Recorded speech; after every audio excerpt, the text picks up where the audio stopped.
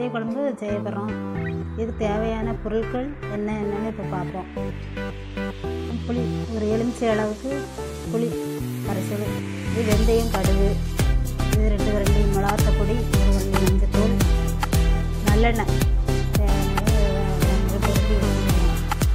தக்காளி ஒரு தக்காளி.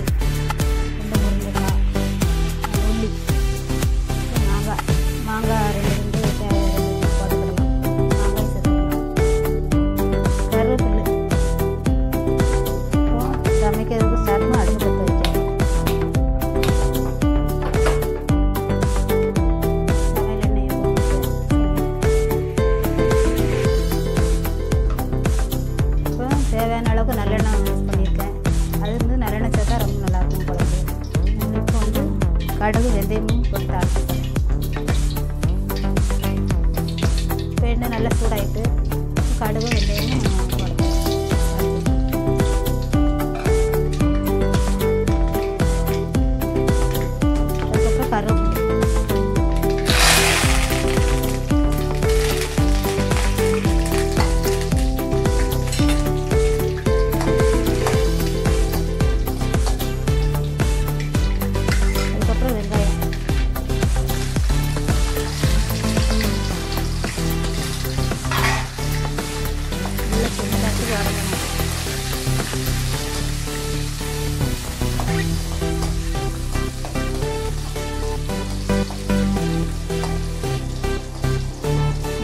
ചിലത് നല്ല വേണം